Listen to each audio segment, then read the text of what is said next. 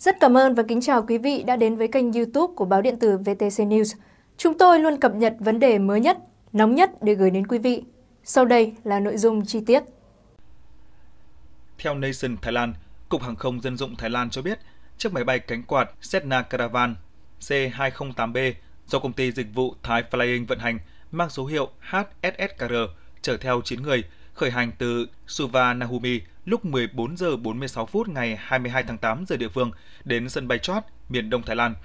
Chiếc máy bay này mất liên lạc với tháp kiểm soát Savanahumi vào khoảng 15 giờ và rơi xuống phía sau chùa Wat Khaujin thuộc huyện Bang Pakong, tức chỉ hơn 10 phút sau khi cất cánh.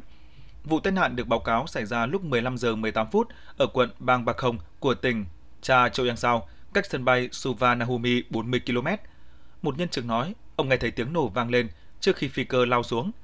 Sau khi nhận được báo cáo về vụ tai nạn, đội cứu hộ và cảnh sát nhanh chóng có mặt tại hiện trường và phát hiện xác máy bay trong vũng bùn ở một khu rừng ngập mặn gần chùa. Hình ảnh từ hiện trường cho thấy các mảnh vỡ nằm trong khu vực rậm rạp, có vị trí nước ngập đến ngang ngực nhân viên cứu hộ. Theo các phương tiện truyền thông địa phương, nỗ lực tìm kiếm gặp khó khăn khi thủy chiều dâng cao, khiến nước sông tràn vào khu vực, theo giới chức địa phương. Cảnh sát hiện phong tỏa khu vực này khi phát hiện nhiên liệu máy bay dò dỉ vào vùng nước xung quanh, đồng thời nỗ lực tìm kiếm hộp đen trên máy bay để tiến hành xác định nguyên nhân vụ việc. Theo báo South English ngày 23 tháng 8, một số bộ phận cơ thể người đã được tìm thấy. Các quan chức địa phương cho rằng tất cả những người trên máy bay có khả năng đã tử nạn. Ngoài ra, cơ quan chức năng cũng đã tìm thấy một chiếc túi đựng tài liệu và ảnh được cho là của một phụ nữ nước ngoài cùng một túi đựng quần áo, đồ bơi. Các cảnh sát tại bang Bạc Không cho biết các đội tìm kiếm đang thu thập các mảnh vỡ, nhưng cho đến tối ngày 22 tháng 8 vẫn chưa tìm thấy dấu vết nào của những người trên máy bay. Theo Bangkok Post ngày 22 tháng 8, 9 người trên khoang được cho là gồm phi công và cơ phó người Thái, hai hành khách người Thái và 5 hành khách Trung Quốc. Trong khi đó, Tân Hoa Xã dẫn thông báo của Đại sứ quán Trung Quốc tại Thái Lan xác nhận 5 công dân Trung Quốc đã thiệt mạng trong vụ tai nạn máy bay ở tỉnh Cha Châu Yang Sao nói trên. Giới chức Thái Lan đang điều tra nguyên nhân tai nạn. Theo hãng thông tấn Fars của Iran dẫn nguồn tin an ninh cho biết, cuộc điều tra về vụ tai nạn trực thăng của Tổng thống Iran Ebrahim Raisi đã hoàn tất, có thể hoàn toàn chắc chắn rằng những gì đã xảy ra là một vụ tai nạn. Theo Fars, có hai lý do dẫn đến vụ tai nạn là điều kiện thời tiết khắc nghiệt và máy bay trực thăng không chịu được trọng lượng phải chở, dẫn đến việc máy bay lao xuống núi. Cụ thể, trực thăng chở nhiều hơn hai hành khách so với quy định. Khi trực thăng đi vào vùng sương mù trên đường trở về từ biên giới Iran, Azerbaijan, phi công cố gắng để máy bay bay phía trên vùng sương mù, nhưng động cơ không đủ công suất. Trực thăng sau đó đã đâm vào sườn núi bị sương mù che khuất. Vụ tai nạn khiến toàn bộ 9 người trên khoang thiệt mạng, trong đó có Tổng thống Raisi, Ngoại trưởng Hossein Amir Abdullahian. Các cuộc điều tra sơ bộ không phát hiện dấu hiệu bất thường nào, cũng như loại trừ khả năng có hành động phá hoại khiến máy bay bị rơi. Trong thời gian bay và 69 giây trước khi xảy ra tai nạn, liên lạc với phi hành đoàn theo tần số đặc biệt vẫn được duy trì, cho thấy không có khả năng xảy ra bất kỳ gián đoạn nào trong hệ thống liên lạc hoặc nhiễu tần số.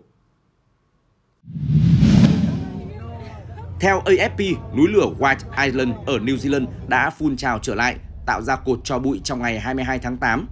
Hãng hàng không quốc gia Air New Zealand cho hay 10 chuyến bay đã bị hủy vào sáng 22 tháng 8 do cho bụi núi lửa gây ảnh hưởng đường bay. Một phát ngôn viên hãng sau đó cho hay một số chuyến bay đã được khôi phục sau khi cho bụi tan biến. Viện Nghiên cứu Khoa học GNS cho biết các hình ảnh vệ tinh cho thấy hoạt động phun trào nhỏ của ngọn núi lửa đã bắt đầu vào đầu tháng này. Các nhà khoa học cho rằng đây là một phần của chu kỳ phun trào điển hình từng được ghi nhận của White Island, đồng thời cảnh báo hoạt động của núi lửa có thể kéo dài từ hàng tuần đến hàng tháng.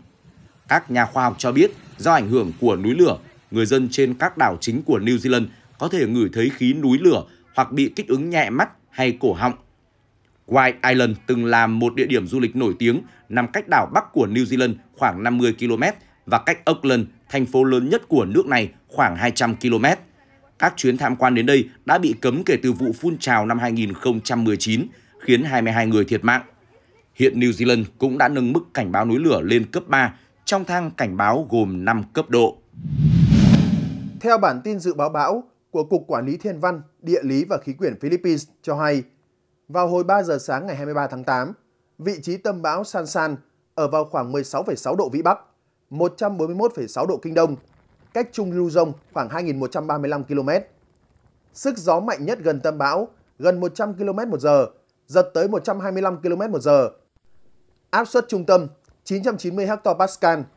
Dự báo, bão San San sẽ mạnh dần lên nhanh chóng trong 24 giờ tới và có thể trở thành bão cuồng phong trong ngày 23 tháng 8. Trước đó, các mô phỏng của Trung tâm Dự báo Thời tiết Tầm trung châu Âu ECMWF cũng đã cho thấy khả năng cao là bão San San sẽ chuyển hướng Đông Bắc để tác động đến Nhật Bản. Từ đầu tháng 8 đến nay, 6 cơn bão đã hình thành ở phía Tây Bắc Thái Bình Dương, vượt quá mức trung bình của tháng 8 là 5,4 cơn bão. San San là cơn bão thứ 10 trong mùa bão 2024. Dự báo bão của cơ quan khí tượng Nhật Bản GMA cũng cho thấy San San sẽ trở thành bão cuồng phong sớm nhất vào ngày 23 tháng 8 hoặc 24 tháng 8. Các điều kiện thuận lợi sẽ thúc đẩy sức mạnh của bão hơn nữa. Rất có khả năng San San có thể là bão cấp 3 trong tháng bão 5 cấp Saffir-Simpson hoặc siêu bão khi đổ bộ miền Nam Nhật Bản vào sáng ngày 25 tháng 8. Áp suất trung tâm của bão dự kiến vào khoảng 980 hectopascal. Thời gian và địa điểm đổ bộ chính xác vẫn chưa rõ ràng, nhưng miền Nam Nhật Bản dự kiến sẽ hứng chịu cơn bão mạnh nhất. Nhà khí tượng học Mike Ventry đăng một bản đồ dự báo đường đi của bão Sansan trên X với chú thích cầu nguyện cho Nhật Bản. Cơn bão Sansan xuất hiện không lâu sau khi Nhật Bản bị bão Ampin tấn công, khiến hàng nghìn người phải sơ tán, hàng trăm chuyến bay và tàu hỏa bị hủy bỏ.